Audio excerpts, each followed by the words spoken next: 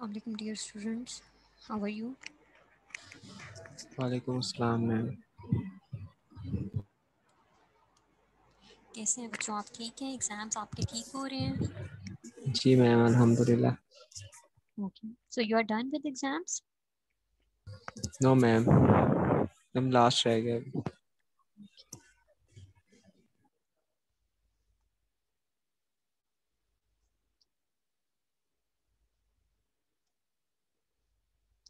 बेटा what we have discussed in previous lecture previous lecture में हमने ये डिस्कस किया था कि हेल्थ केयर सिस्टम को हम कैसे इम्प्रूव कर सकते हैं, कैसे बेहतर बना सकते हैं, कैसे पेशेंट्स को और उनकी फैमिलीज़ को, उनके केयर टेकर्स को, उनके केयरर्स को या उनके केयर गिवर्स को ठीक है you can use any of the term आप कोई भी टर्म यूज़ कर सकते हैं ओके सो हम पेशेंट्स को, उनके केयर टेकर्स को कैसे फैसिलिटेट कर सकते हैं अपने हेल्थ केयर सिस्टम में ओके सो so, हमने डिफरेंट प्रिंसिपल्स पढ़े थे डिफरेंट स्टेप्स पढ़े थे कि हम कैसे इन, स्टेप्स को फॉलो कर सकते हैं और पेशेंट्स को और उनके केयर टेकर्स को फैसिलिटेट कर सकते हैं और अपनी हेल्थ केयर सिस्टम को बेहतर बना सकते हैं।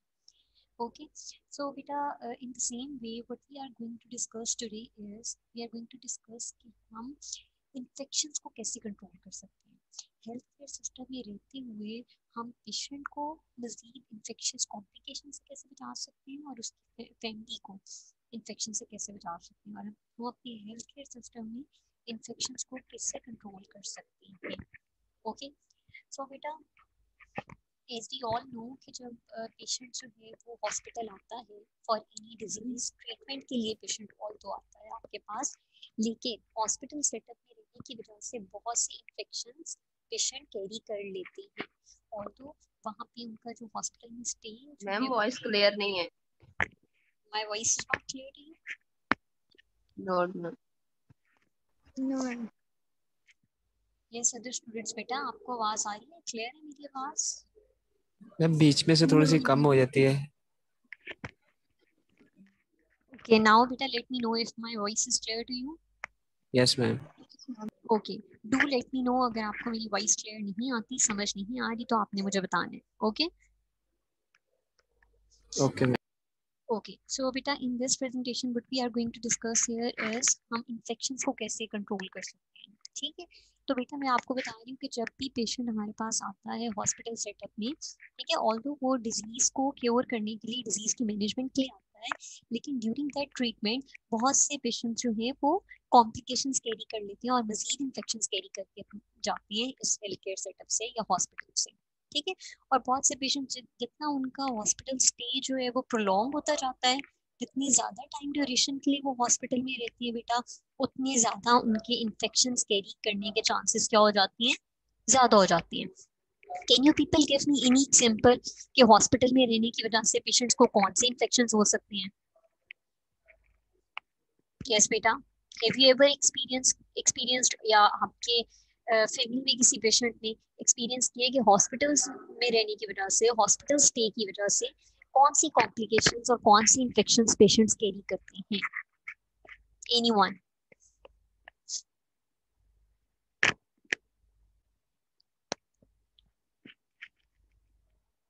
if my voice is clear to you now? Ma'am bacterial infection हो सकते हैं bacterial infections okay very good. Surgery वाली इन्फेक्शन हो सकती है सर्जरी जहाँ पे हुई होती है वहाँ पे भी इन्फेक्शन हो सकती है। Yes very good. Post surgical infections very good. और बेटा? आईवी लाइंस की वजह से कोई हाँ। इन्फेक्शन मैम यूटीआई इन्फेक्शंस होते हैं जो यूरिनरी ट्रैक्ट के होते हैं मोस्टली कैथेटर की वजह से? Very good UTI infection is very common common बेटा हॉस्पिटल एक्वायर्ड इन्फेक्शन में UTI is most common yes very good what else बेटा रेस्पिरेटरी इन्फेक्शंस में बताएँ। कौन सा ऐसा मैम निमोनिया वेरी गुड और इसकी एक पर्टिकुलर टाइप है बेटा जो इसी नेम से है। हॉस्पिटल एक्वायर्ड निमोनिया ठीक है? ऐसे पेशेंट तो यस व्हाट एल्स बेटा? स्किन इन्फेक्शन हो सकती है। मैम बर्न्स के बर्न के केसेस में जो फंगल इन्फेक्शन हो जाते हैं और बैक्टीरियल वेरी गुड और बेटा कुछ ऐसे पेशेंट्स भी होते हैं जो बेड रिडन पेशेंट्स होते हैं। ठीक है? हमारी फ़ील्ड में बहुत से ऐसे पेशेंट्स हमारे पास आते हैं bed sores bed sores very good excellent बेटा वेल डन बेड सोर्स ठीक है? बेड सोर्स डेवलप हो जाते हैं। यस व्हाट एल्स बेटा? तो बेटा अब मुझे ये बताएँ कि कौन से ऐसे पेशेंट्स होते हैं जिनमें इन इन्फेक्शन के या इन ये जो कॉम्प्लिकेशंस हॉस्पिटल से पेशेंट्स एक्वायर करते हैं इनके चांसेस ज़्यादा होते हैं? कौन से ऐसे क्योंकि हॉस्पिटल में कोई ना कोई डिज़ीज़ होती है तो इम्यूनोसप्रेशन होते हैं उनकी इम्यून सिस्टम वीक हो चुका होता है इस वजह से उनको इन्फेक्शन होने के चांसेस ज़्यादा होते हैं। यस इम्यूनो कॉम्प्रोमाइज्ड जो पेशेंट्स होते हैं उनमें ज़्यादा मोर प्रोन टू इन्फेक्शन वो ज़्यादा जल्दी इन्फेक्शन प्रोन होते हैं। ठीक है? As compared to the patients जो इम्यूनो कॉम्प्रोमाइज नहीं होते, ठीक है? तो जितनी आपकी इम्यूनिटी सप्रेस होगी, जितनी आपकी इम्यूनिटी कॉम्प्रोमाइज होगी, बेटा तो आप उतने ही हॉस्पिटल इन्फेक्शन को जल्दी कैरी करेंगे ओके सो बहुत से ऐसी टाइप्स होती हैं बेटा जिनमें आपके बेड सोर्स आ जाते हैं हॉस्पिटल एक्वाइड निमोनिया आ जाता है चेस्ट इन्फेक्शन आ जाते हैं UTI one of the most common infection बेटा जो आप हॉस्पिटल से एक्वायर करते हैं। तो बेटा इस लेक्चर में हम ये डिस्कस करेंगे कौन से ऐसे मेजर्स हैं, कौन से ऐसे प्रिकॉशंस हैं जो हम अडॉप्ट कर सकते हैं पेशेंट सेफ्टी जिससे हम पेशेंट के इन्फेक्शन के जो चांसेस हैं प्रेवलेंस है, जो इंसिडेंस है, उसको कम कर सकें और इसी तरह उनकी फैमिलीज़ को भी हॉस्पिटल एक्वाइड इन्फेक्शन से बचा सकें ठीक है so the topic here is minimising infection through improved infection control okay so बेटा learning objective here is demonstrate the devastating effects of inadequate infection control as you people know बेटा जो हमारे आज का health care Excuse setup me, ma'am. Yes बेटा ma'am आपकी आवाज clear नहीं आ रही बेटा my voice is not to you all बेटा आवाज़ आ रही है आपको? यस मैम अब क्लियर है। जी मैम आ रही। ओके सो बेटा नो कि हेल्थ केयर सेटअप में बहुत ज़्यादा रिस्क होता है इन्फेक्शन का ठीक है? Because of the factor of contamination because of the factor of immuno compromised patients because of the factor of बेटा sharp needles and IV lines because of the drugs जिसको हम कहते हैं बेटा पॉलीफार्मेसी जब पेशेंट्स को बहुत ज़्यादा ड्रग्स बहुत ज़्यादा मेडिकेशन हम एट द सेम टाइम दे रहे होते हैं तो जहाँ पेशेंट ट्रीट हो रहा होता है, उस बीमारी से वहाँ ही पेशेंट को पॉलीफार्मेसी की वजह से उसकी इम्यूनिटी जो है, वो मजीद कॉम्प्रोमाइज हो जाती है। ठीक है? तो जब पेशेंट्स पॉलीफार्मेसी पे होते हैं, यानी बहुत सारी drugs at the same time वो यूज़ कर रहे हैं तो उस दौरान उनकी इम्यूनिटी कॉम्प्रोमाइज हो जाती है। ओके सो पॉलीफार्मेसी की वजह से भी इन्फेक्शन के चांसेस इंक्रीज कर जाते हैं ओके और पे- वैसे ही पेशेंट इम्यूनो कॉम्प्रोमाइज होता है, फिर पॉलीफॉर्मेसी की वजह से उनकी जो इम्यूनिटी है बेटा, वो मजीद सप्रेस और कॉम्प्रोमाइज हो जाती है तो उनमें इन्फेक्शन के चांसेस इंक्रीज कर जाते हैं। बेटा, जितना आपका लॉन्ग स्टे होगा हॉस्पिटल में पेशेंट का, उतने ज़्यादा उसको इन्फेक्शन के चांसेस ज़्यादा होंगे। Okay okay? और contamination is one of the main factor one more factor is बेटा कि जब पेशेंट किसी डिज़ीज़ के साथ आया है, उसकी ट्रीटमेंट पे फोकस कर रहा है पेशेंट ठीक है? लेकिन साथ वो बहुत सी चीज़ों को निग्लेक्ट कर रहा होता है, जैसे पोस्ट सर्जिकल पेशेंट्स आपके पास आते हैं, वो बेड रिटर्न तो होते हैं, लेकिन वो साथ साथ दूसरी एक्सरसाइजेज या जो उनको ट्रीटमेंट दिया जा रहा है, सिर्फ़ उस पर फोकस करते हैं और अपनी फियर ऑफ़ इंजरी और फियर ऑफ़ फॉल की वजह से अपनी दूसरी एक्सरसाइजेस को और मोबिलिटी को बिल्कुल रिस्ट्रिक्ट कर देते हैं। उसकी वजह से बेटा प्रोलॉन्ग बेड रिडन पेशेंट्स जो हैं, उनमें चेस्ट इन्फेक्शन के ज़्यादा चांसेस हो जाते हैं। है उनके रेस्पायरेटरी मसल्स जो हैं, उनकी स्ट्रेंथ जो है अफेक्ट होती है? इन द सेम वे बेटा, उनकी चेस्ट वॉल एक्सपेंशन जो है, वो अफेक्ट होगी और उनमें रेस्पायरेटरी इन्फेक्शंस और हॉस्पिटल एक्वाइड निमोनिया के इन्फेक्शंस इंक्रीज कर जाते हैं। इन द सेम वे जब वो प्रोलॉन्ग बेड रिडन रहते हैं बेटा, उनमें bed soreness bed soreness increase कर जाती है। Okay so these are some of the factors बेटा जिसकी वजह से हमारे इन्फेक्शन से चांसेस हेल्थ केयर सेटअप में इंक्रीज कर जाते हैं so in this in this lecture we are going to know how we can control the extent of infections. So, yeah, beta know the main causes and types of infections we are going to discuss here. So, what measures we can take to avoid infections acquired from healthcare system?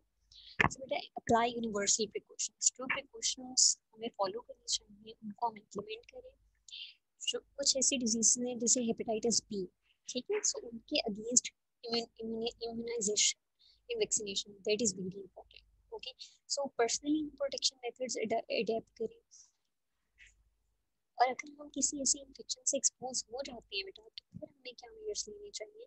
हमें उस पे focus करना चाहिए। Encourage others to use universal precautions आप खुद अगर universally precautions follow कर भी रहे हैं टू कंट्रोल इन्फेक्शन तो बेटा दूसरों को कैसे इनकरेज करना है उन प्रिकॉशंस फॉलो करने के लिए? उस उसके लिए दूसरों को मोटिवेट करें और इनकरेज करें।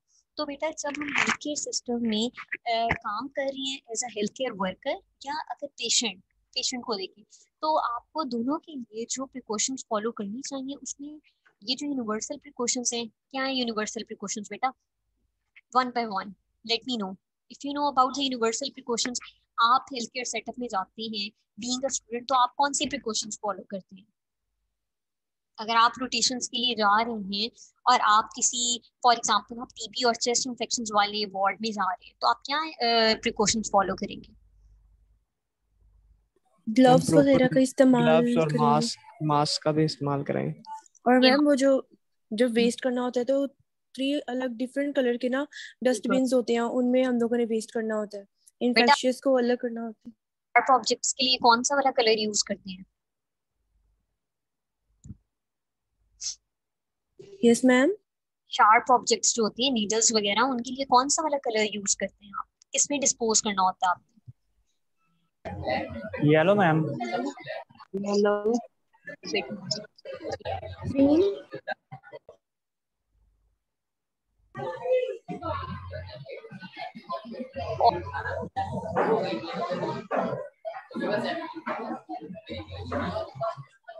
बेटा, जब आप नीडल्स यूज़ करते हैं कोई भी शार्प ऑब्जेक्ट यूज़ करते हैं इवन कि आप घर में जब आप डीएसएल चेक कर रहे होते हैं तो आप शुगर वो नीडल यूज़ करते हैं, ठीक है? जब आपने एक पेशेंट के लिए नीडल यूज़ कर दी है, आपने दोबारा उस नीडल को रिकैप नहीं करना, आप दोबारा उस नीडल को यूज़ नहीं करेंगे नेक्स्ट टाइम आप क्या करेंगे, वो नीडल यूज़ किए तो आप नीडल को उसके बाद बेंड करेंगे ब्रेक करेंगे डिस्पोज ऑफ़ करेंगे.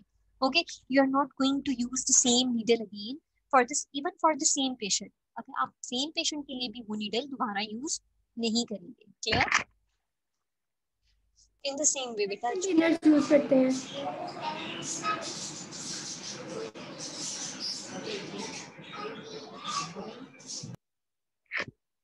You are going to use needle for only one time ठीक है? आपने जब पेशेंट के लिए नीडल यूज़ की, आपने उसी नीडल को even for the same patient दोबारा यूज़ नहीं करना, आपने उसी को डिस्पोज ऑफ़ करने, और डिस्पोज ऑफ़ करने का क्या तरीका बेटा? आप उसको या तो बेंड करें ब्रेक करें, या फिर प्रॉपरली डिस्पोज ऐसी जगह डिस्पोज ऑफ़ करें, जिससे तो उसकी इन्फेक्शन फैलने के चांसेस कम हो okay in the same way बेटा, जैसे आपने बताया कि ग्लव्स यूज़ करेंगे मास्क यूज़ करेंगे इन द सेम वे बेटा, जो इन्फेक्शियस डिजीजेस हैं, उनके अगेंस्ट खुद को इम्यूनाइज करेंगे ओके वैक्सीनेट करवाएँगे खुद को।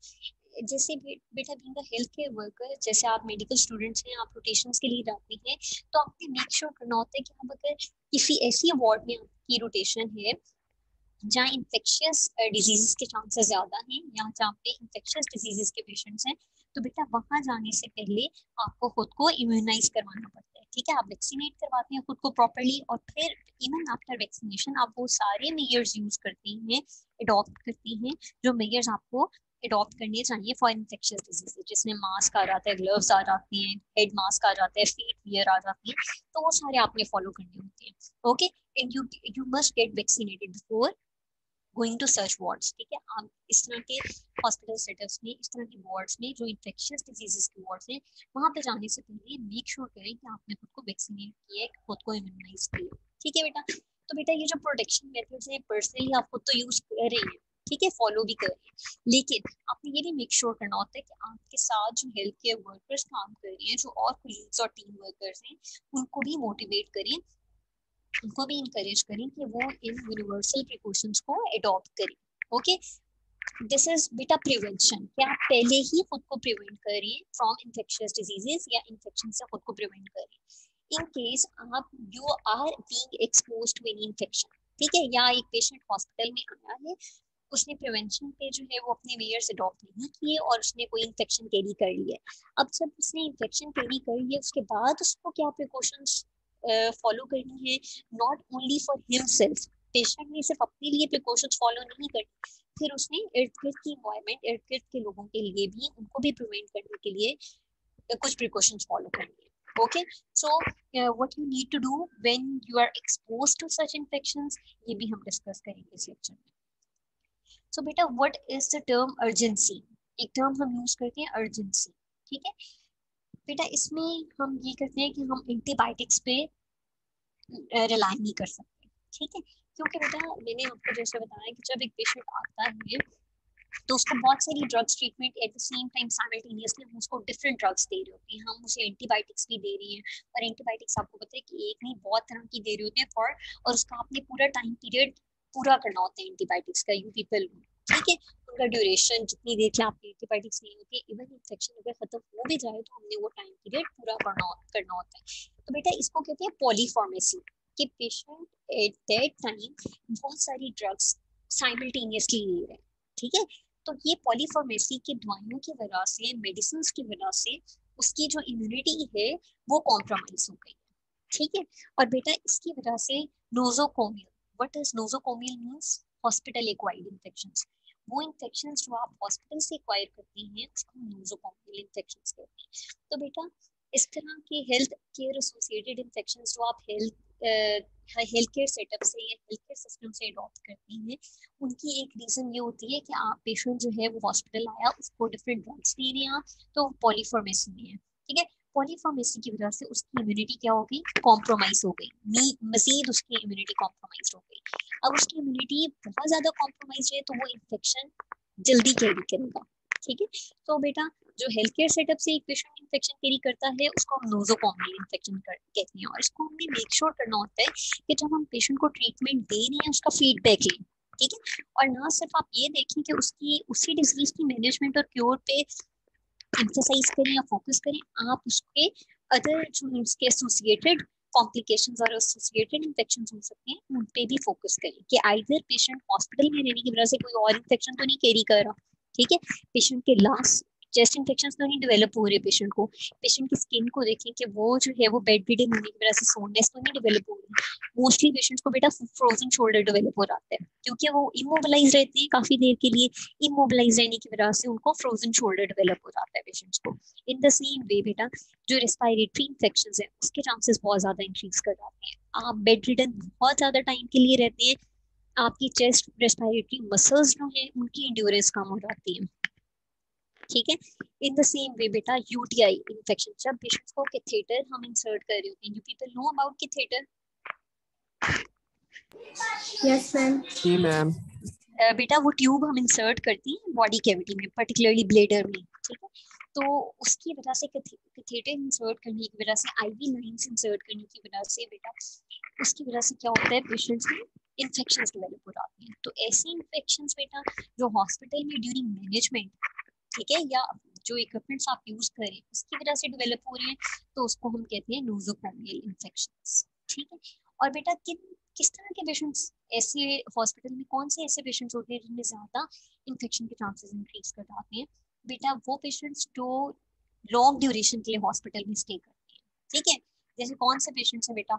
स्वेयर पेशेंट्स होते हैं, जो आए होते हैं, जैसे यू कैन से कार्डिक ठीक है कार्डियोलॉजी में जो वार्ड्स होते हैं, जिनकी और एम आई मायोकार्डियल इंफॉक्शन के साथ आए होते हैं, ठीक है वॉल्व रिप्लेसमेंट के साथ तो वो क्या होते हैं, वो जो सर्जरी वो सर्जिकली वार्ड में ज़्यादा टाइम स्पेंड करते हैं, ठीक है तो इससे जो जिनका स्टे हॉस्पिटल में लॉन्ग होता है, वो ज़्यादा प्रोन होती है इन्फेक्शन के साथ ओके जो बेटा ज़्यादा ड्रग्स के साथ जो है वो ट्रीटमेंट जिनकी चल रही है एट द सेम टाइम आप मल्टीपल ड्रग्स दे रहे हैं पेशेंट को तो मैंने आपको बताया कि उनमें इम्यूनो कॉम्प्रोमाइज वो पेशेंट ज़्यादा हो जाती है तो वो ज़्यादा प्रोन होती है।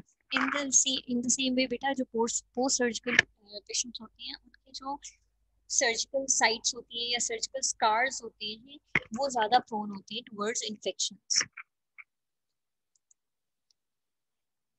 बेटा WHO की तरफ़ से कुछ कैंपेन्स हैं चल रही हैं टू डिक्रीज इन्फेक्शन रेट्स उसमें हमारे पास W H O clean hands और सेफर हैंड्स कैंपेन है ठीक है? सो इसमें हम एक्सरसाइज करते हैं हैंड वॉशिंग पे। Centre for disease control and prevention ma'am आपकी आवाज़ नहीं clear Centers for Disease Control and Prevention campaign to prevent antimicrobial resistance in healthcare settings. ये एक campaign है बेटा और दूसरी एक campaign है Institute for Healthcare Improvement 5 million lives campaign. ठीक है बेटा तो ये कुछ कंपेन्स हैं जो चल रही हैं इन्फेक्शन रेट्स को कंट्रोल करने के लिए if my voice is clear to you now yes ma'am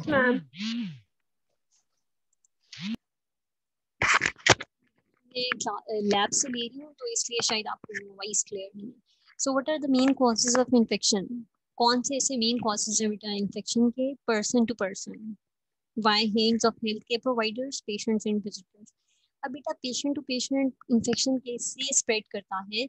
Not only with patient himself ठीक है? पेशेंट के खुद हाथ लगाने से नहीं हो सकता। हो सकता है कि जो पेशेंट का प्रोवाइडर है, जो हेल्थ केयर टेकर है पेशेंट का, ठीक है? जो केयर टेकर है पेशेंट का। उसके थ्रू आपको पेशेंट जो है वो स्प्रेड इन्फेक्शन स्प्रेड करे। इन द सेम वे बेटा, जो विजिटर्स आते हैं, ठीक है?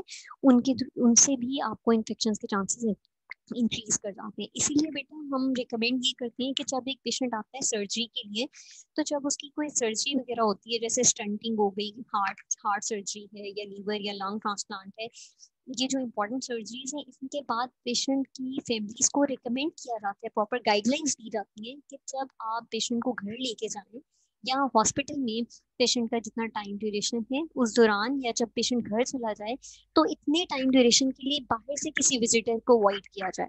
ठीक है? कि पेशेंट को भी बचाया जाए और पेशेंट से जो विजिटर मिलने आ रहे हैं, उसको भी बचाया जाए।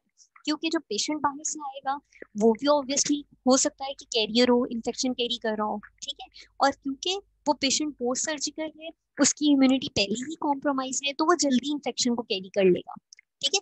जो विजिटर आया बेटा ऑल तो वो एक कैरियर है, उसमें सिम्टम्स अपीयर नहीं हुए अभी इन्फेक्शन के, लेकिन क्योंकि पेशेंट पोस्ट सर्जिकली उसकी इम्यूनिटी ज़्यादा कॉम्प्रोमाइज है तो वो फॉरन से इन्फेक्शन को कैरी करेगा और उसमें सिम्टम्स अपीयर भी होंगे जल्दी, ठीक है? इन द सेम वे बेटा अगर विजिटर बाहर से आया है और पेशेंट क्योंकि हॉस्पिटल से होके गया है, ठीक है पोस्ट सर्जिकल पेशेंट है तो हो सकता है कि पेशेंट ने हॉस्पिटल से कोई इन्फेक्शन कैरी किया हो, ठीक है? और वो जिस विजिटर से मिलेगा, उसमें वो इन्फेक्शन ट्रांसफ़र होने के चांसेस ज़्यादा होंगे।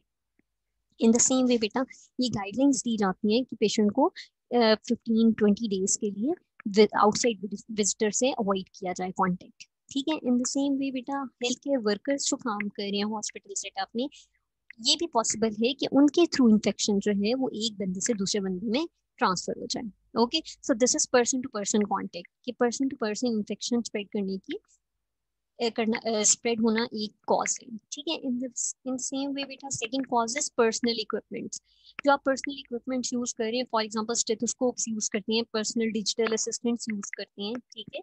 बीएसएल मशीन यूज़ कर ऑपरेटर्स यूज़ करते हैं डीपी ऑपरेटर्स यूज़ करते हैं। तो बेटा in the same way theatres और ये सारी चीज़ें यूज़ कर रहे होते हैं तो इन इक्विपमेंट्स के थ्रू भी इन्फेक्शन स्प्रेड करने के चांसेस ज़्यादा होते हैं। इवन बेटा, ये जो हम मास्क यूज़ करते हैं ग्लव्स यूज़ करते हैं, ठीक है? ये जो हम यूज़ करते हैं अपनी स्ट्रैप्स यूज़ करते हैं। बेटा इनमें इन इनके थ्रू ये पर्सनल इक्विपमेंट्स के थ्रू इन्फेक्शन स्प्रेड करने के चांसेस इन ज़्यादा होते हैं। तो इनका एक प्रॉपर वे होता है कि हमें, हम कैसे इनको डिस्पोज ऑफ़ करें ओके सो इन्वायरमेंटल कॉन्टेमिनेशन तो हॉस्पिटल सेटअप में ऑब्वियसली बेटा, क्योंकि कंटेमिनेशन का रेट इंक्रीज होता है तो वहाँ से इन्वायरमेंट से आप इन्फेक्शन कैरी करने का के चांसेस भी ज़्यादा होते हैं। एयरबोर्न ट्रांसमिशन, कुछ इन्फेक्शन ऐसे होते हैं बेटा जो थ्रू एयर स्प्रेड करती हैं तो उनके वो एक मेन कॉज होती है इन्फेक्शन की। Carriers on the hospital staff बेटा जो हॉस्पिटल स्टाफ है, जो वहाँ काम कर रहा है, उनके थ्रू भी इन्फेक्शन जो है, वो स्प्रेड करते हैं क्योंकि वो they are working in hospital setup they are themselves carrier वो खुद कैरी कर रहे होते हैं इन्फेक्शन तो ऑब्वियसली हम अपने हेल्थ केयर सेटअप में काम कर रहे हैं बीइंग हेल्थ केयर वर्कर हमारी इम्यूनिटी स्ट्रॉन्ग है। ठीक है? हम किसी इन्फेक्शन को कैरी कर सकते हैं, हो सकता है हमारे सिम्टम्स अपेयर ना हो, हमारे एक्टिवली वो इन्फेक्शन जो है वो अपेयर ना हो, लेकिन हम क्योंकि कैरियर हैं तो जो इम्यूनो कॉम्प्रोमाइज पेशेंट है, वो इन्फेक्शन को जल्दी जो है वो कैरी करेगा और उसमें एक्टिव इन्फेक्शन जो है वो अपीयर होगा। क्लियर और बेटा one of the main causes outbreaks ये जो पेंडेमिक होती है, वो बाई अमराज ठीक है? उनके थ्रू जो इन्फेक्शन के चांसेस इंक्रीज कर जाते हैं, जो आपके पास आजकल की सबसे बेहतरीन एग्ज़ाम्पल कोरोना की है, ठीक है? सो बेटा urinary tract infection usually associated होते हैं कैथेटर्स के साथ। जब हम पेशेंट्स में कैथेटर्स इंसर्ट करते हैं तो उसके थ्रू जो इन्फेक्शन स्प्रेड करता है, वो यूरिनरी ट्रैक इन्फेक्शन होता है। दिस इज़ वेरी कॉमन ठीक है? Not even not only with catheter बेटा, ज़रूरी नहीं है कैथेटर्स यूज़ कर रहे हैं तो ही ये इन्फेक्शन हुए। इवन जब पेशेंट्स जो है वो हॉस्पिटल्स में हॉस्पिटल सेटिंग में रहती हैं वॉशरूम्स वगैरह यूज़ करती हैं तो उसके थ्रू भी आपकी यूरिनरी ट्रैक के इन्फेक्शन इंक्रीज कर जाते हैं और पेशेंट कंप्लेन करता है कि वो फीवर और यूरिनेशन में पेशेंट को प्रॉब्लम आ रही होती है तो ये सिम्टम्स होते हैं यूरिनरी ट्रैक इन्फेक्शन के ओके सर्जरी की वजह से, बेटा जो सर्जिकल साइट होती है ठीक है, जो सर्जिकल स्कार होता है, वो मोर प्रोन होता है टू इन्फेक्शन ठीक है? सर्जिकल साइट की वजह से इन्फेक्शन के चांसेस इंक्रीज कर जाते हैं ब्लड स्ट्रीम इन्फेक्शन एसोसिएटेड होते हैं इंट्रावास्कुलर डिवाइस के साथ। तो आइदर आप आईवी लाइन पास करिए या इंट्रावास्कुलर डिवाइस यूज़ करिए उससे आपकी ब्लड स्ट्रीम में इन्फेक्शन के चांसेस इंक्रीज कर जाते हैं। वेंटिलेटर्स पे पेशेंट को जब लगाते हैं बेटा तो क्योंकि पेशेंट्स जो है वो इमोबलाइज रहता है और उसके जो चेस्ट वॉल की एक्सपेंशन है और रेस्पायरेटरी मसल्स हैं उनकी स्ट्रेंथ बेटा अफेक्ट होती है। तो इस तरह के पेशेंट्स में lung infection respiratory infection develop हो जाते हैं। ठीक है? So respiratory infection particularly hospital acquired pneumonia associated with ventilators. Okay? So beta are uh, is it clear to you? What are the main types and main causes of infections? You can see here beta what is the prevalence of nosocomial infection? Nosocomial means hospital से जो हम acquire करते हैं। तो उसमें हमारे पास you can see here urinary tract infection है surgical site infection है ब्लड स्ट्रीम इन्फेक्शन है निमोनिया है और अदर साइट्स हैं। अब बेटा, इसमें आप देख सकते हैं कि किस इन्फेक्शन की प्रेवलेंस ज़्यादा है। So you can see here can you please tell me किस इन्फेक्शन की बेटा प्रेवलेंस ज़्यादा है?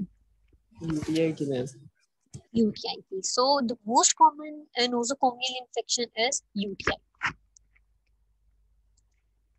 Prevention in hospitals अब बेटा ये आपने डिस्कस कर लिया कि कॉजेस क्या इन्फेक्शंस के टाइप्स के इन्फेक्शंस के अब हम डिस्कस करते हैं हम इनको प्रिवेंट कैसे कर सकते हैं हॉस्पिटल में विजिबली क्लीन ठीक है तो बेटा सफ़ाई cleanliness hygienic environment this is one of the main main principle कि आप इसको एडॉप्ट करें और इस इन्फेक्शन को प्रिवेंट कर सकते हैं okay increase cleaning during during outbreaks अब आप देख सकते हैं आउटब्रेक्स में पेंडेमिक्स आ जाते हैं एपिडेमिक्स आ जाते हैं। अब देखिए बेटा ड्यूरिंग पेंडेमिक जो एक फैक्टर मोस्ट इंपॉर्टेंट है, जो अपना रोल प्ले करता है, उसमें है क्लीनिनेस क्लीनिंग ठीक है?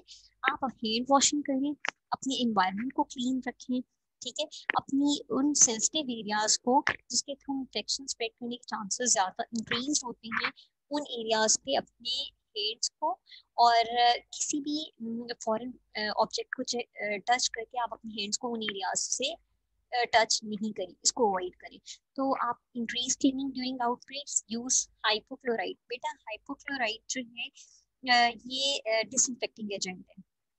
ठीक है एज अ डिसइंफेक्टेंट हम इसको यूज़ करते हैं। It is very effective for the disinfection जैसे वायरसेस बैक्टीरिया फंगस और इन सब के लिए एज अ डिसइंफेक्टेंट यूज़ होता है। तो हम हाइपोक्लोराइड यूज़ करते हैं डिटर्जेंट्स यूज़ करते हैं during outbreaks so this is one of the main prevention कैसे हम प्रिवेंट कर सकते हैं आउटब्रेक्स को, कैसे हम प्रिवेंट कर सकते हैं हॉस्पिटल एक्वाइड इन्फेक्शन को।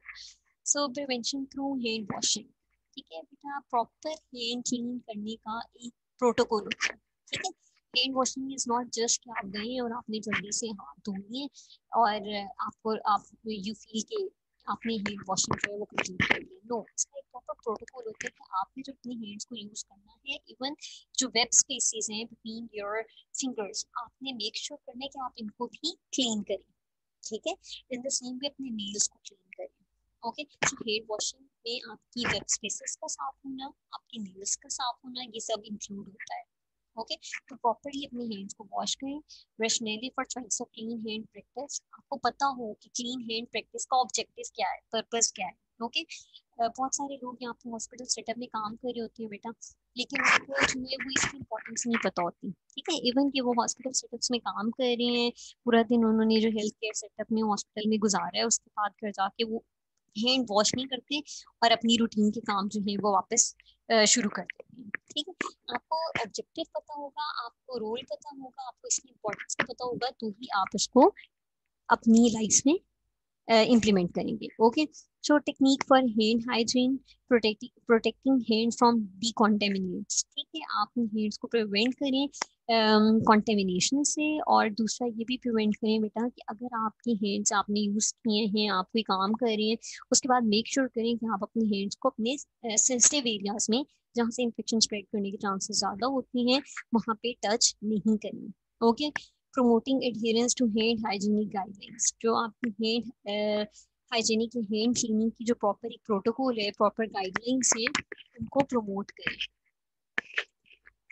प्रोटेक्टिव इक्विपमेंट में बेटा आप ग्लव्स यूज़ कर सकते हैं एप्रन्स यूज़ कर सकते हैं और फेस मास्क यूज़ कर सकते हैं which is very important nowadays because of outbreak safe disposal of sharps बेटा, आप अगर हेल्थ केयर सेटअप में काम कर रहे हैं या आप इवन घर में नीडल्स या कुछ इस तरह के ऑब्जेक्ट्स यूज़ करते हैं, जो शार्प ऑब्जेक्ट्स हैं, उनको यूज़ करने के बाद उनको डिस्पोज ऑफ़ कैसे करना है देट इज़ वेरी इंपॉर्टेंट बहुत से पेशेंट्स क्या करते हैं बेटा, उन्होंने अभी अपने इवन फैमिली में उन्होंने अभी डी चेक किए पेशेंट का वही नीडल निकाल के वो रख देते हैं कि हम दोबारा से बी चेक करेंगे, हम इसी नीडल से चेक करेंगे।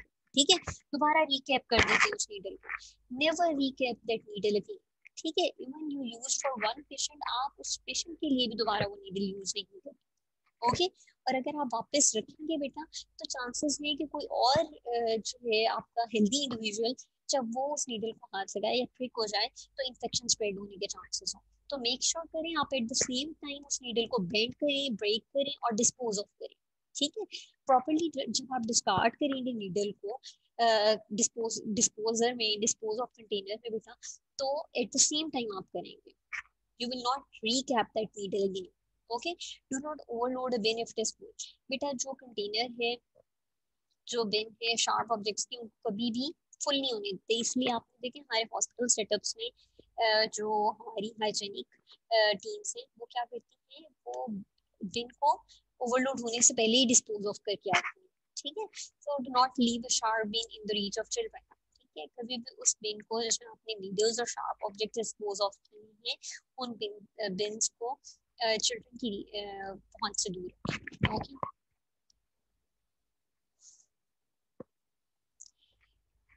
परफॉर्मेंस रिक्वायरमेंट बेटा अगेन कि आपने जो यूनिवर्सल प्रिकॉशंस हैं, उनको अप्लाई करना है फॉलो करना है, खुद को पहले वैक्सीनेट इम्यूनाइज करना है for that infection different infection के लिए और अगर आप बींग हेल्थ केयर वर्कर आप किसी ऐसे वार्ड में रोटेशन कर रहे हैं, जा रहे हैं तो आपने मेक श्योर करना है कि आप उस रोटेशन से पहले अपने आप को खुद को वैक्सीनेट करें इम्यूनाइज करें। लाइक हेपेटाइटिस बी ठीक है? TB infectious ward chest infection के जो वार्ड्स होते हैं तो इनमें जाने से पहले आप मेक श्योर करें कि आपने खुद को इम्यूनाइज किया है। पर्सनल प्रोटेक्शन मेथड्स को यूज़ करें, दूसरों को भी इंकरेज करें, और अगर इन्फेक्शन के साथ एक्सपोज हो गया एक्सपोजर हो गया आपका इन्फेक्शन आपने कैरी कर लिया है तो आपने खुद की कैसे प्रिकॉशंस करने उन मेजर्स को अडॉप्ट करें। So, what you are going to act to minimize spread of infection before contact with each and every patient clean hands before touching a patient. बेटा, किसी भी पेशेंट को के साथ जब आपका एक्सपोजर होता है तो प्रोटोकॉल ये है कि पेशेंट को चेक करने से पहले आप अपने हैंड्स को वॉश करें। ठीक है?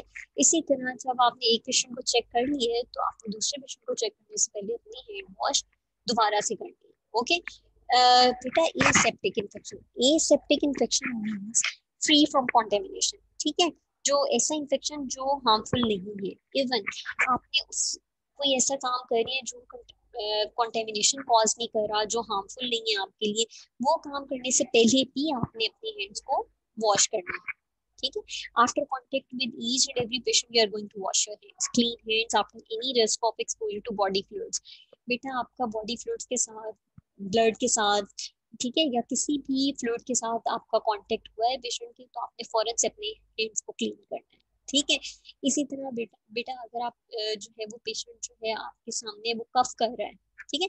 मेक श्योर करेंगे आपने मास्क पहना हुआ है, ठीक है? मेक श्योर करेंगे आप उसके बाद पेशेंट को एग्जामिन करने के बाद अपने हैंड्स को वॉश करें, ठीक है? अगर कोई पोस्ट सर्जिकल पेशेंट है और आप पेशेंट की फिजियोथेरेपी करवा रही हैं, आप सर्जिकल साइट के ऑल दो अराउंड ही आपने पेशेंट को हाथ लगाया है, लेकिन मेक श्योर करें कि पेशेंट की बॉडी को टच करने के बाद अपने अपने हैंड्स को क्लीन किया है सैनिटाइज किया ठीक है clean hands after actual patient contact clean hands after contact with patient surroundings even आपने पेशेंट को एक्चुअली हाथ नहीं लगाया, लेकिन पेशेंट की इर्द गिर्द जो चीज़ें थी पेशेंट की, ठीक है पेशेंट की जो सराउंडिंग्स थी, अगर आपका उनके साथ भी कॉन्टेक्ट हुआ है, उसके बाद भी आपने अपने हैंड्स को क्लीन करना है। इवन अगर आपके पेशेंट के केयर टेकर के साथ भी कॉन्टेक्ट हुआ है तो भी आपने ये प्रिकॉशंस फॉलो करनी है। Okay clear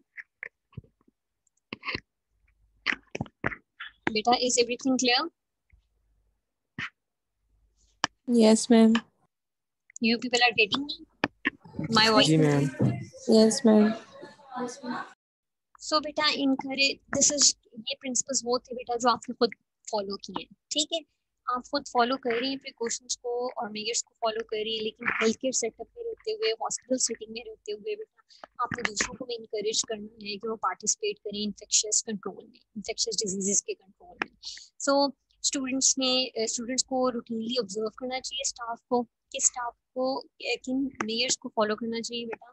Apply in adequate technique in hand washing जो बेटा आपके सामने आप अपनी फैमिली में देखते हैं, अपने जहाँ जिस सेटअप में हॉस्पिटल सेटअप में आप काम कर रहे हैं, अपने कलीग्स को देखते हैं कि वो हैंड वॉश किस तरह करते हैं। आइधर वो प्रॉपर प्रोटोकॉल फॉलो करते हैं कि हैंड्स को किस तरह वॉश करना चाहिए वेब स्पेसेस को क्लीन करना चाहिए, अपने नील्स को क्लीन करना चाहिए। तो आपने अप्लाई करना है adequate method of hand washing ठीक है? इस तरह के बेटा हेल्थ केयर वर्कर्स जो फेल टू वॉश हैंड्स अपने हैंड्स को, जैसे मैं आपको बताया कि हॉस्पिटल सेटअप में काम करती हैं, लेकिन अपने हैंड वॉश नहीं करते और अपने रूटीन के काम जाके जो है वो शुरू कर देते हैं, ठीक है? तो उनको गाइड करना है routinely violate correct infectious control procedures बेटा वो हेल्थ केयर वर्कर्स वो कोलीग्स जो प्रोसीजर्स जो है वो फॉलो कर रही हैं, लेकिन इन्फेक्शन इन्फेक्शन कंट्रोल करने के जो मेयर्स हैं, उनको अडॉप्ट नहीं करते, उनको वायलेट करते हैं तो आपने उनको इनक्रेज करना है कि वो पार्टिसिपेट करें infection control so the summary of this lecture is बेटा know the main guidelines in each of the clinical environment your as nine आपको पता होना चाहिए, आप जिस सेटअप में काम कर रहे हैं, जिस इन्वायरमेंट पे काम कर रही हैं, इसकी मेन गाइडलाइंस क्या है? Guidelines related to infection control okay? So, accept responsibility for minimizing opportunities for infection transmission. ऐसे बेटा ऐसी अपॉर्चुनिटीज़ ऐसे मेथड्स जिनके थ्रू आपको लगता है कि इन्फेक्शन ट्रांसमिशन के चांसेस इंक्रीज कर जाते हैं, उन सिचुएशंस को अवॉइड करें। ठीक है? Let staff know if supplies are inadequate और डिप्लीटेड बेटा, जब आपकी ये जो डिस्पोज ऑफ़ कंटेनर्स हैं या आपके ग्लव्स हैं मास्क हैं ये जो आपके मेयर्स हैं, अगर आपको ये ऑब्जेक्ट्स लगता है कि ये ख़त्म होने वाले हैं, ख़त्म होने से पहले स्टाफ को मेक श्योर sure करें कि ये इन सप्लाईज की, इन ऑब्जेक्ट्स की आपको ज़रूरत है okay before they are depleted let them know ठीक है? Educate patients and families, visitors about clean hands and infection transmission. बेटा पेशेंट्स को एजुकेट करें नॉट ओनली पेशेंट्स पेशेंट की फैमिलीज़ को एजुकेट करें विजिटर्स को एजुकेट करें। और और मेक श्योर करें कि जब पेशेंट पोस्ट सर्जिकल है या पेशेंट अभी किसी डिज़ीज़ के साथ कांटेक्ट पेशेंट का हुआ है और पेशेंट रिकवर कर रहा है तो रिकवरी टाइम में आप कोशिश ये करें कि विजिटर्स को अलाउ ही ना करें कि पेशेंट से ओके क्योंकि इस तरह इन्फेक्शन के चांसेस इंक्रीज कर जाते हैं, ठीक है? आप अगर पेशेंट को बचा रहे हैं तो हो सकता है कि विजिटर इफ़ेक्ट हो जाए, ठीक है? और अगर आप विजिटर को बचा रहे हैं तो पेशेंट के इफ़ेक्ट होने के चांसेस ज़्यादा हैं क्योंकि वो ऑलरेडी इम्यूनो कॉम्प्रोमाइज है okay So ensure patients on precautions have some standard of care as others. तो patient बेटा make sure करें कि patient on precautions को follow करें. Frequency of entering the room, monitoring vital signs. बेटा आप patient के वाइटल्स को कंटिन्यूसली मॉनिटर करती हैं ड्यूरिंग द ट्रीटमेंट उन वाइटल्स को मॉनिटर करने के क्या पर्पस होता है ड्यूरिंग द ट्रीटमेंट ये स्टूडेंट्स क्यों हम वाइटल्स को मॉनिटर करते रहते हैं during the treatment all the treatment चल रहा है मैनेजमेंट दे रहे हैं आप पेशेंट को लेकिन साथ आप वाइटल्स को भी मॉनिटर कर रहे हैं पहले मुझे बताएँ what are the vital signs ma'am four vital signs होते हैं ब्लड प्रेशर होता है रेस्पिरेटरी रेट होती है टेम्परेचर होता है और पल्स रेट होती है और हमने पॉसिबल डिजीजेस जो होती है उनके बारे में हमें पता चल जाता है ताकि हम उसके क्योर की तरफ़ जा सकें। पहले आपके वाइटल साइंस फ्लक्चुएट करेंगे ठीक है? आपके वाइटल साइंस फ्लक्चुएट और डिटोरिएट करेंगे बिकॉज़ ऑफ़ एन इन्फेक्शन तो आपको पता चलता है कि आप ट्रीटमेंट तो दे रहे हैं लेकिन पेशेंट के वाइटल साइंस फ्लक्चुएट कर रहे हैं। तो आपको आइडिया हो जाता है कि in hospital acquired infection patient is carrying okay so this is all about the lecture. Any problem beta any query?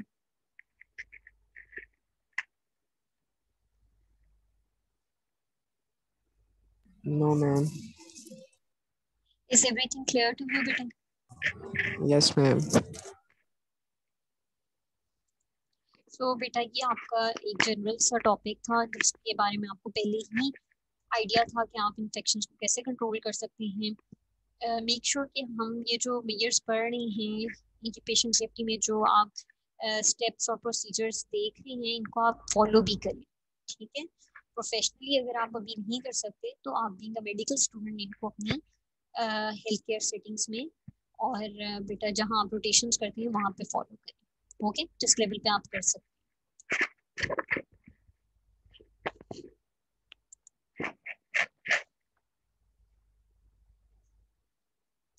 Okay students get ready for attendance.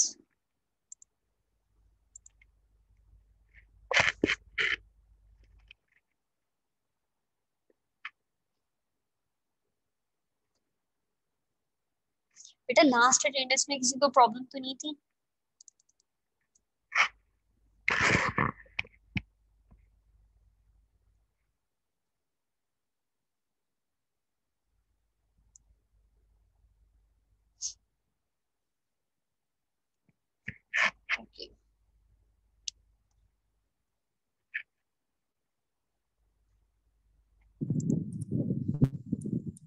Yes ma'am मेरी नहीं लगी थी बेटा what's your name ma'am Sidra Mukhtar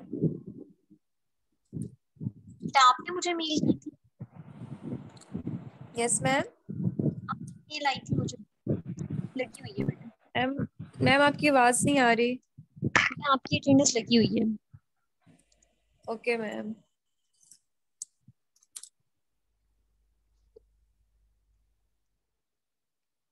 ma'am मेरी भी नहीं लगी थी। बेटा आप तो प्रेजेंट ही नहीं थे ना तो आपकी तो मैम नहीं मेरी लगी। लगी Shoaib Ali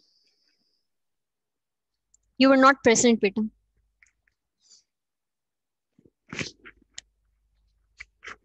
ma'am net disconnect हुआ ma'am bye what's your name ma'am मेरी लगा दी आयशा हसन। मैम बेटा- जो प्रेजेंट थे उनकी लग गई है। आप आज की अटेंडेंस मुझे बोलें okay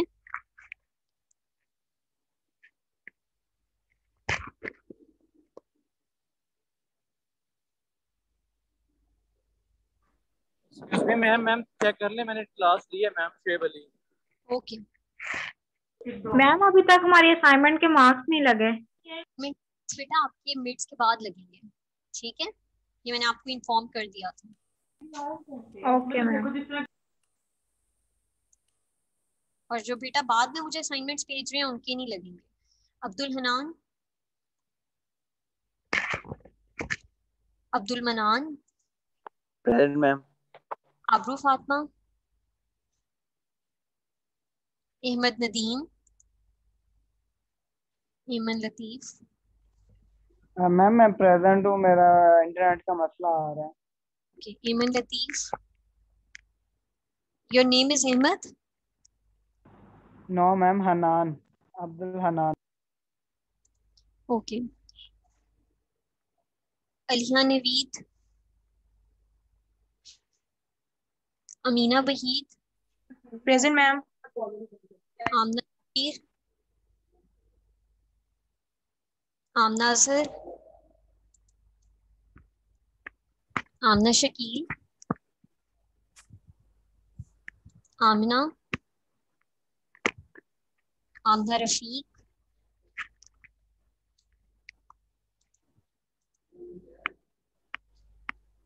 Amna Yasin present ma'am Anam Fatima Anusha Shahid Aqsa okay Aqsa Arshad present ma'am Aqsa Liaquat Aqsa Nazir present Aqsa Tabassum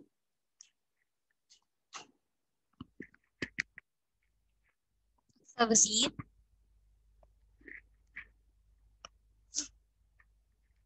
Areeba Javed Areej Arshad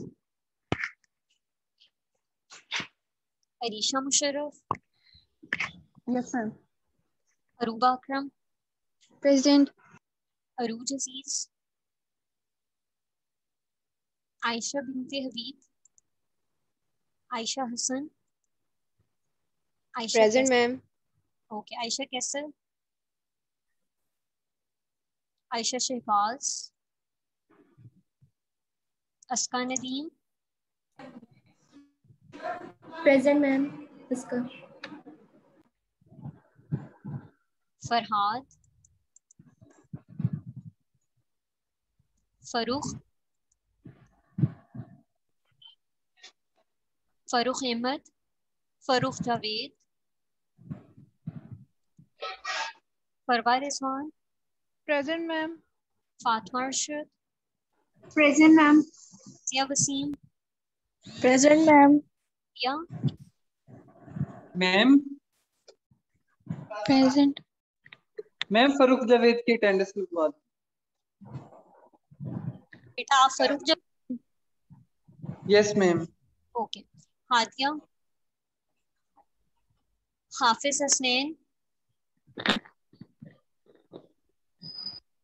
Hafiz Junaid Ahmed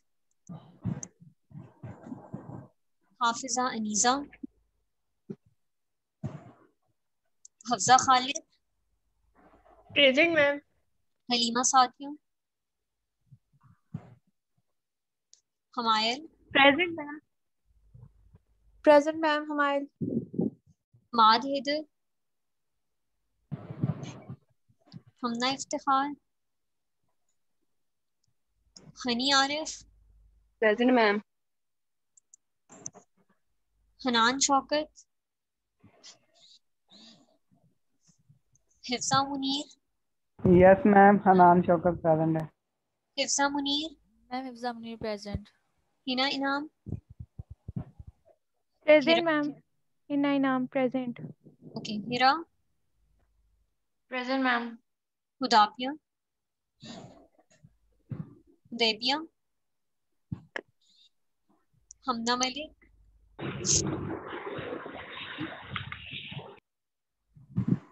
Iqra Qasim. Iqra Rehman. Iqra Tabassum. Present. Iraj Fatima. Iraj Fatima. Iram Sabir. Kiran Shahzadi. Present ma'am Laiba Abbas Laiba Abrar present ma'am Lareeb. Maham. Laiba पार present ma'am okay Maham. Mahira Nasir. Mahnoor Rehman. Present Mahnoor Umar Mahzeb Maleeha Javed present ma'am. Manahil Maryam Abbas Maryam Nadeem present. Maryam Rashid present. Maryam Salman Momina Tariq present मोजे Zafar Muhammad Ahmed Muhammad Amin Muhammad Aamir. Present ma'am miss मैंने hand raise किया था आपने attendance लगा दी है Mahnoor Umar? No बेटा hand raise नहीं करना आपने बोलना है। जी अब लगी आपकी ओके मैम हमने भी प्रेजेंट है। बेटा एंड पे बताइएगा अब जो रह गए हैं। Let me take the attendance first yes Muhammad Ahmed Muhammad Amin Aslam Muhammad Aamir present ma'am Muhammad Muhammad Imad present ma'am Muhammad Ahsan Muhammad Bilal. Muhammad Faisal Muhammad Haseeb present ma'am. Muhammad Sabir. Present ma'am. Muhammad इब। Yes ma'am Muhammad Umair. Present ma'am. Umar. Umar है ma'am. Muhammad Umair is present ma'am present Muhammad Uzair. Muhammad Umar ma'am. Muhammad Uzair. Muhammad Waseem. Present ma'am Muhammad Waseem forty. Muhammad Zuhaib present ma'am Muhammad Juner Akhtar. Present ma'am Mukashfa Fatima. Present ma'am Muniba Bashir. Present ma'am yeah Neha Nimla Nimra Nimra Ahmed Nimra Razzaq present ma'am Noor Fatima present ma'am Noor Nawaz Navera Razia Naeem Rabia Jamil Ramsha Fatima Rana Muhammad Moiz present ma'am Rida Sahara Riza Khalid Rimsha Rimsha with 15 ID and Rimsha with 47. Rimsha Ijaz, Present, ma'am. Rimsha Javed, Rimsha Sanaula, Sadia Saif, Saifullah, Present, ma'am. Sadia Saif, present. okay, Saifullah, Sam- Ijaz, Present. Saman Javed, yes ma'am मैं Shoaib Ali present जी बेटा what's your name ma'am Shoaib Ali call किया आपने? नहीं बेटा शुएब तो नहीं मैंने कॉल की। Saman Javed Samina Babar Samra Jahangir. Ma'am Samra Jahangir Sana Munir. Present Sanila Ghaffar. Present ma'am. Rosh Seema Mehboob. Shoaib Ali. Okay. Sidra Abbas yes ma'am present Shoaib Ali. Okay okay. Sidra Abbas Sidra Mukhtar. Present ma'am. Sikandar Subhani present ma'am. Suneek Ahmed. Syeda Iman Syeda Shaista present ma'am Tehmina Tooba Nadeem present Umaima present Umair Khan present ma'am Arfa present ma'am Usama Usama Ahmed Uzair Warda Qasim Present, ma'am. Zahid Hussain yes ma'am Zuhaib Tariq Junaish Junash Waqar Zubia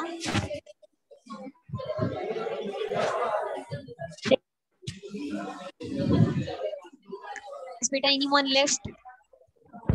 Ma'am yes ma'am अक्सर ma'am आपने मेरा नाम नहीं call किया Zubair Ahmed Yes. Anyone else, beta? Ma'am. Ma'am मेरी भी नहीं हुई। मैम आपने मेरा नाम नहीं कॉल किया जुबैर अहमद।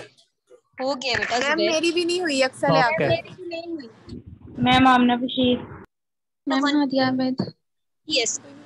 ठीक है? मैम अक्सर वज़ीर मैम मेरी भी नहीं अक्सर वज़ीर वज़ीर वज़ीर जी जी. मैम अक्सर याकर Yes. Ma'am Iman Latif ma'am Iram Sabir. बेटा सिर्फ़ अपनी बताएँ बाकी की नहीं। मैम एमन फाइका लतीफ एमन लतीफ आपकी हो गई है। मैम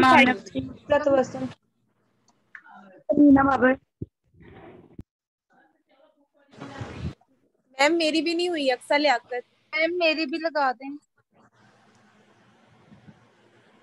यस बेटा किसकी? अक्सर लियाकत की जी मैम।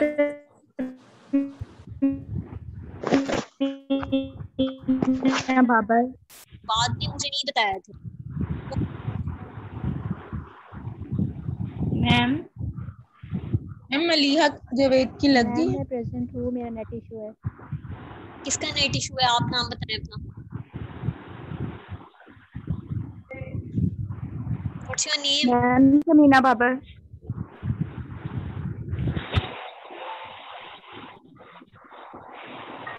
ये बेटा आपकी। मैम मेरी भी लग गई। मैम? मैम मेरी लगा दी है अक्सर लियाकत। मैम मेरी लग गई है हमने बशीर एनी अदर क्वेश्चन बेटा? कुछ और पूछने हैं regarding the presentation regarding the lecture ma'am Rubia का नेट इशू है उसकी भी अटेंडेंस मार्क कर मिस असाइनमेंट के मार्क्स आपने लगा दिए पोर्टल पे? असाइनमेंट के मार्क्स आपके मिड्स के बाद लगेंगे क्योंकि पेशेंट सेफ्टी की कोई असाइनमेंट नहीं है कोई असेसमेंट नहीं है इसलिए मैं मिड से पहले नहीं लगाना चाह रही मिड्स के बाद में लगाऊँगी जिन्होंने टाइम मैम कौन सी प्रेजेंटेशन जिन्होंने टाइमली मुझे असाइनमेंट भेजी थी उनकी सिर्फ़ मार्क्स लगेंगे जो अब मुझे भेज रहे हैं उनके मार्क्स नहीं लगेंगे। एनी अदर क्वेश्चन बेटा पूछे। आप प्रेजेंटेशन कौन सी? करेंगी।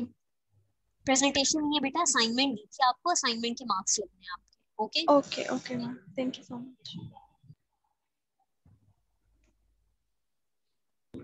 ma'am yes attendance का पूछना था हमने बशीर और जूबिया के नेट का इशू हुआ हुआ है वो भी बोल रही है। अब आपकी लग गई। ठीक है आप मैम मेरी लग गई? मैम मैं प्रेजेंट हूँ मेरा नेट इशू है।